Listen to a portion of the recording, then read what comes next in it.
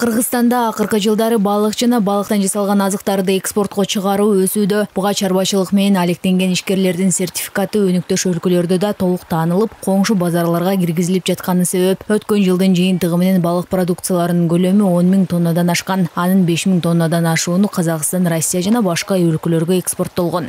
Жалпы э, өндүрүү товардык балыкты өндүрүү боюнча балык чарба департаменттин маалыматы боюнча он миң үч жүз кырк төрт тонна балык өндүрүлдү товардык экспорт отуз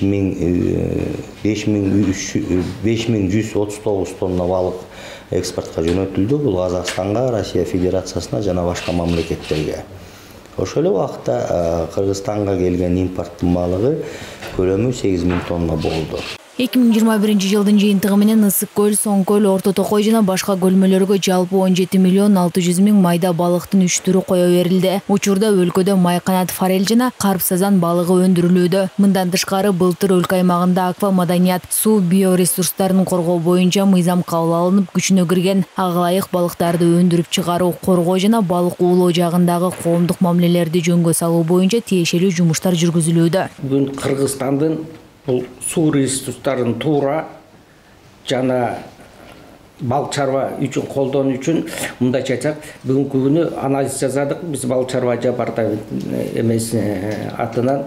Где то бір отыз беш миңдей отыз беш миң километрдей бизде суулар бар экен. Андан тышкары суу сактагычтары бар. Э, Құрупсай суу сактагыч үч коргон шамалды сай таш көмүр.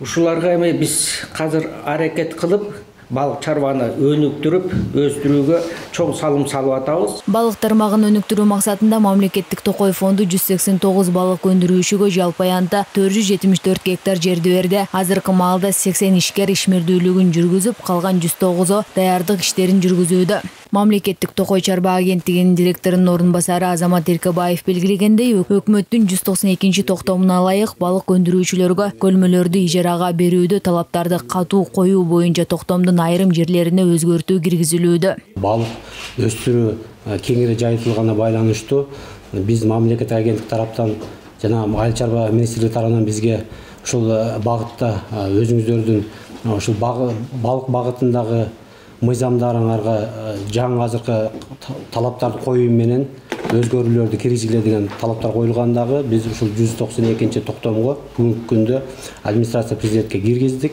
Именно ошол балык өндүрүүчүлөрдүн ижарага берүүдө талаптарды катуулап катуураак и мындай кененирээк талаптарды койдук. Вот ошол негизинде биз иш жүргүзөбүз ушул токтомдун негизинде. Балык өндүрүүчүлөргө жер ижарасын берүү боюнча. Жыл башында токмок шаарында күндө массалык түрдө балыктар кырылып жатканы тууралуу маалымат тараган бул боюнча токой жана балык чарба департаменти санитардык көзөмөл эрежелерин күчөткөн жана ысык ата чүй району боюнча тирүү балыкты сатуу экспорттоо жана транспортировкалоого убактылуу тыюу салынган. Ысык ата менен токмок боюнча э, ветеринардык санитардык талаптарды күчөтүү максатта токой чарбасы менен балык чарба департаменти менен биргеликте иш алып барып жаңы талаптарды коюп жатабыз. Токой чарбасы качан гана уруксаатын берип биздин талаптарга баягы ветеринардык санитардык талаптарга жооп беришине талаптарга жооп берилсе ошондо гана уруксаатын берип рыбный департаменттен дагы уруксатын берилгенден кийин анан биз ошондо гана ички рейстерге каттоого жана ветеринардык санитардык талаптарды аткарылышына экинчиден болсо баягы внутренний рынокко реализацияга чыгарганга уруксатын жана доступун беребиз. Балык департаментинин тизмесинде өлкө боюнча жүз токсон төрт чарба катталган жана алар балыктын алты түрүн өндүрөт. Жергиликтүү балык негизинен кмш жана ээп өлкөлөрүнө экспорттолот. Айтолкун анапияева урмат мамбеталиев бешинчи канал